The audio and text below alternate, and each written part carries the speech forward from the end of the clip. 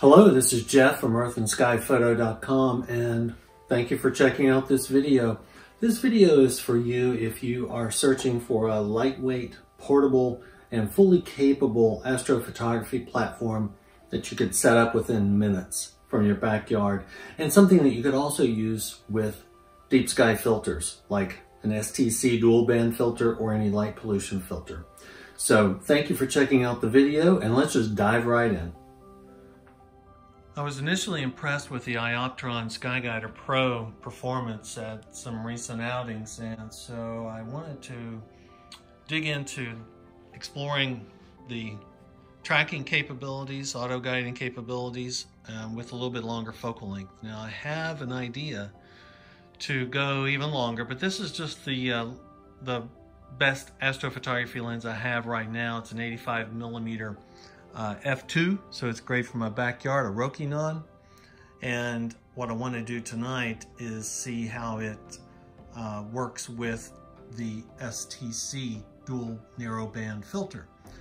And then the other items, I'm, this is a test of a lot of stuff tonight. This is the uh, ZWO uh, 120 Mini and guide, guide chip guide scope on their mini guide scope. So I just uh, did a calibration on the iPad, or not a calibration, but I just made sure all the equipment was talking to each other through the ASI Air, which is, in my opinion, a revolutionary device that allows me to do things in a very uh, portable and easy to use non-laptop configuration. So this is going to be our proof of concept. If this works tonight, we're hoping to get up to somewhere around a 250 millimeter focal length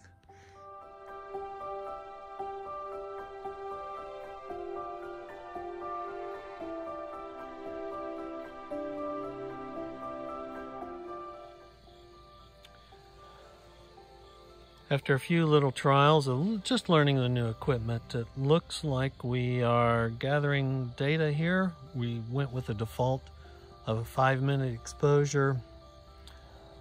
And we're on our first exposure with auto guiding with our 120 mini on the mini scope. And well, a couple of notes on just getting familiar with the guiding with the um, 120 mini on the 120 on the uh, mini guide scope. I turned down the aggressiveness on the right ascension down to 65%. And it looks like it's doing a really nice job on the auto. Third exposure really shows that the lens is not really up to speed for the 294 MC at F2. Uh, it's I just stopped it down to F4. As you can see, it's performing much better. The corners. Okay, we really got everything dialed in now. I had a little bit of a fogging up with the chip. I tried to lower the temperature down to minus 10 Celsius, but um, went ahead and raised it back up to zero.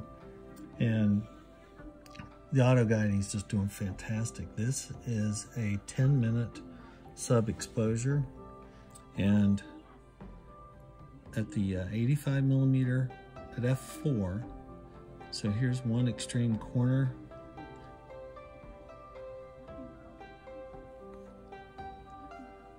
This corner here has consistently been a little elongated. This is probably a little field rotation more than anything but just look at the stars. We really are getting some very nice uh, exposures here. And um, I'm very happy with uh, what we're getting with the 10 minute exposures. Gained a 185 with the uh, 294 ZWO ASI.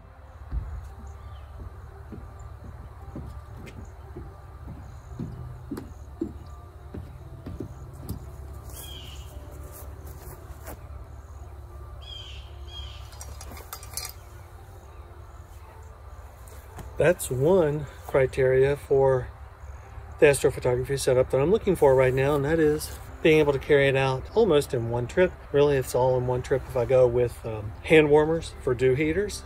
The only other thing I'd have to add are some dew heaters onto the system. So we just got back from the Marshall football game. That's why I'm dressed in my post-game attire, but we have a clear night tonight.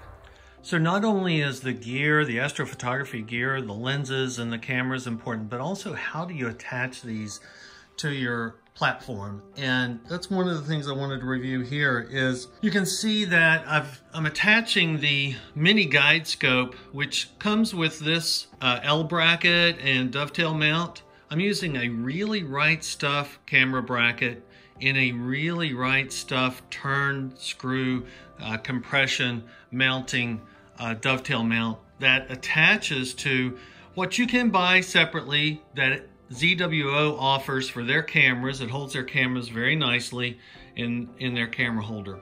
I'm also using a really right stuff mini ball head. Now what I would recommend is whatever attachment you use here, it could be a dovetail right on top of the declination axis, but it's always best if you have a nice controllable, uh, some friction that avoids resistance on your declination. So you can achieve your framing and you know you can lock your right ascension in uh, obviously but this way you can do just some micro control of your declination for your framing of your objects and that helps a great deal.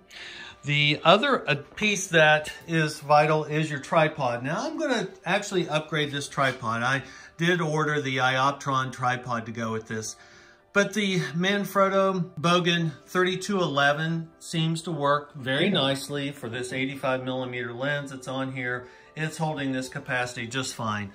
And the other tool that really changed has changed a lot about my imaging, especially remotely and uh, portability, are these Orion Dynamo uh, Pro packs, these lithium ion batteries. I've used this for two nights to control the ZWO, the, the cameras, the ASI Air, and it's still fully charged. So this is the connection and kind of the supplemental materials that go along with the gear. Okay, so that wraps up our proof of concept experimentation here with the Ioptron mount and the ZWO ASI 120 guide, guider, the mini guide scope, 294 MC on my 85 millimeter Canon lens. What was I trying to do? My initial experience with the DSLR on the Ioptron with the 85 millimeter was fantastic, unguided. But I was having to use high ISOs. I was using them from a dark sky. So I was using 30 second exposures at, I believe, ISO 6400. So my goal was to see, can we go for longer exposure times, guiding this mount with some filters, like the STC dual band filter, and can we achieve that? And I would have to unequivocally say, yes, we can. That was 10 minute exposures, right ascension guiding only. The polar scope is fantastic. It seems to be able to get, get accurate enough for an 85 millimeter lens. I'm hopeful that all of this translates into the Red 51. That's a 250 millimeter focal length. I'll follow this up with a supplemental video that reviews that.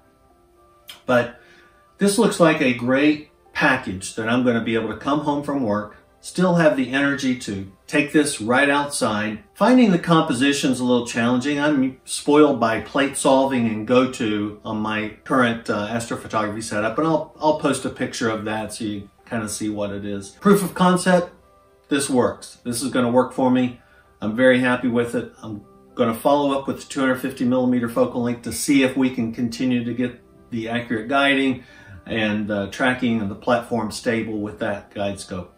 Now I'm not going to process the image uh, on the video here. What I'm going to do is I'm going to gather some more data. I'll post the image on my AstroBin or on my Earth and Sky photo.com website. So you can follow it there and I'll, I'll post the, uh, the completed image of IC 1396 and uh, surrounding nebulosities, Squid Nebula, if we can pull that out. I don't know that I'm going to get enough data on that. So far, very happy with this. I highly recommend this package. And if you have any questions, just uh, drop me an email, put it in the comments section, like and subscribe. I'll produce these videos occasionally if I feel like I have some material that can supplement material that's already being produced by Astro Backyard and uh, others in the astrophotography community. So thanks a lot for watching and clear skies.